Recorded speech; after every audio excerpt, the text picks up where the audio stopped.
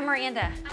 Hi, nice to meet you. I'm Lane. Every month, Birchbox delivers beauty samples that are custom tailored to their subscribers. Getting our lip gloss into Birchbox would put our product in front of hundreds of thousands of potential customers. I'd love to hear a little bit about the product inspiration.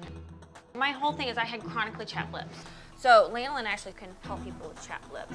So I started looking for a lanolin lip balm. There wasn't one, and that was 10 years ago, and the company's grown from operating out of my house to a, we'll, we'll do a little over $3 million this year. This is our lip gloss, pure illumination. So you push the button here, yeah. And so then you, there's a mirror Yeah. right there. The mirror is like amazing A and lot. it's so obvious. Honestly, we get more The compliments on the mirror than we do the light. I don't love the light. And also if I was at a bar and I put on my lip gloss and all of a sudden I was like my face was lit up, mm-hmm. I think I would feel a little strange. What is the price point? $20 retail is what these retail for. Okay, so that's like actually a higher price. I'd say this is 14? Yeah, I was gonna say sub 15. Yeah. But you could change the packaging and really change the perception on pricing and keep it at 20. Is the pure, is like the natural aspect of it gonna be like a part of this? It's mostly pure, but except for the color and the scent. It's tough to say it's pure. You can get natural color.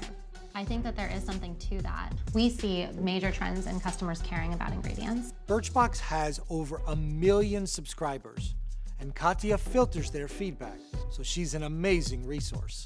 I wanted to get her feedback on as many products as possible. Marcus Lemonis is the Profit. All new Tuesdays at 10, CNBC.